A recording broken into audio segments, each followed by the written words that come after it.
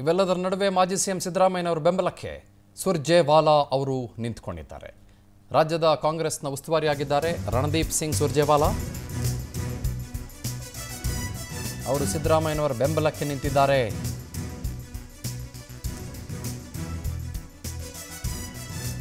ಲಿಂಗಾಯತ ನಾಯಕರಿಗೆ ಅವಮಾನ ಮಾಡಿದ್ದು ನಾವಲ್ಲ. ಬಿಜೆಪಿ ನಾಯಕರ ಆರೋಪಕ್ಕೆ ಸುರ್ಜೇವಾಲಾ ತಿರುಗೇಟ್ ಕೊಟ್ಟಿದ್ದಾರೆ. ಸವದಿ ಡಿ ಸಿ ಎಂ ಆಗಿದ್ದವರು ಅವರನ್ನು ನಾವೇನ್ರಿ ಹೊರಹಾಕಿದ್ದು?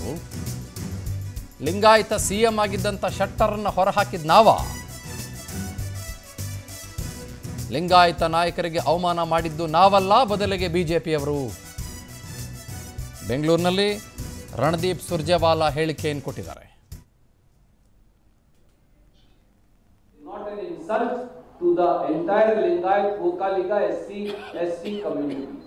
Number two, why did you, Mr. Bomai, and also Mr. B.L. Santosh, throw out, insulted, rejected a seasoned and senior leader of Lingayat community like Mr. Jagdish Shettar?